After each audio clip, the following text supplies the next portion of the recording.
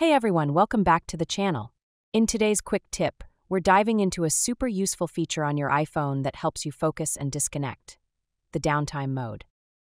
With the latest iOS 18 update, setting it up is a breeze. Let's jump right in. First, open your Settings app.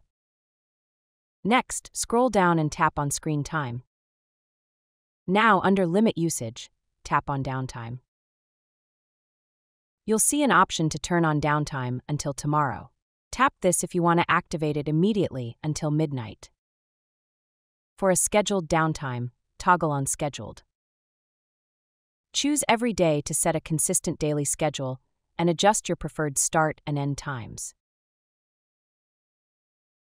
Or select Customize Days to pick specific days and set individual time frames. Just tap on a day and set your from and to times. Once you've set your schedule, tap Done in the top right corner. With downtime enabled, only the apps you've allowed and phone calls will be accessible. To turn it off, simply tap Turn off downtime. And that's all there is to it.